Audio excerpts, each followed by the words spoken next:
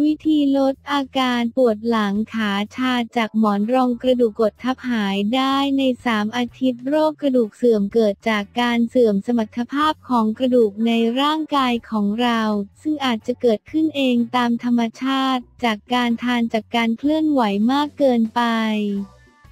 มักจะเกิดในวัยกลางคนวัยสูงอายุสังเกตเห็นได้ชัดว่าเมื่อเคลื่อนไหวจะมีเสียงกรอบแกรบ รบแกรบบางทีก็จะปวดต่อตรงข้อกระดูกรู้สึกขัดขัดปวดปวดเคลื่อนไหวลำบากนั่งคุกเข่านั่งยองยอง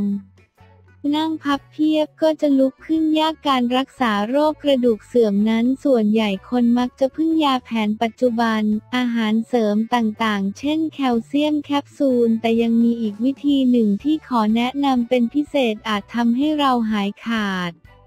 หรือบรรเทาอาการโรคกระดูกเสื่อมได้ คือทานแบบภูมิปัญญาไทยด้วยน้ำกระชายน้ำมะนาวน้ำพึ่งน้ำกระชายน้ำมะนาวน้ำพึ่งเป็นสูตรธรรมชาติบำบัดที่จะสามารถช่วยให้ร่างกายสร้างมวลกระดูกใหม่ขึ้นมา แล้วไปเสริมสร้างกระดูกที่เสื่อมอยู่ให้แน่นเหมือนเดิม ส่วนผสม น้ำกระชายน้ำมะนาวน้ำเผืองอ รักษาโรคกระดูกเสื่อมชุดละวันเช้าเย็นแบ่งเอากระชายหนึ่งขีดน้ำพึ่งสองช้อนโต๊ะมะนาวสองลูกวิธีทำน้ำกระชายน้ำมะนาวน้ำเผืองอ รักษาโรคกระดูกเสื่อมหนึ่ง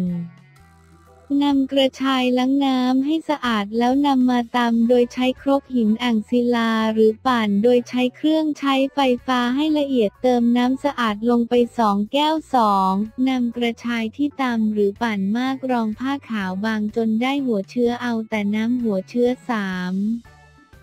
ใส่น้ำผึ้งและมะนาวผสมลงไปปรุงรสตามใจชอบแนะนำให้ใช้วิธีการตามโดยใช้ครกหินอ่างศิลา จะช่วยในการบำบัดด้วยวิธีธรรมชาติ ขอขอบคุณข้อมูลจากวันฟ้าสายใจสองเราและไข่จอ